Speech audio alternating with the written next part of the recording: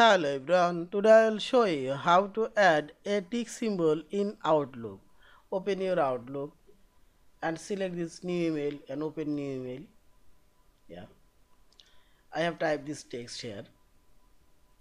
Now select this symbol option and select here more symbols and select here Segoe UI symbol. Sorry, not this one and select here dingweights this is dingweights there are three types of check I will add this check now insert and close. And check this. Tick symbol already inserted.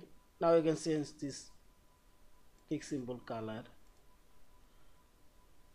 Bold italic also you can change font size and press enter yeah. Thank you for watching. Please subscribe like share and comments